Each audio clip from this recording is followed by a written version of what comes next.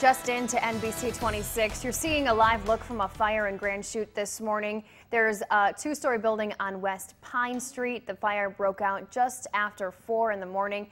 Stay with NBC 26 as we continue to learn more information.